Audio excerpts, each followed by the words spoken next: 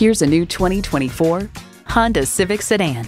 Get more mileage out of every drive with this Civic. You'll look forward to every drive with features like these.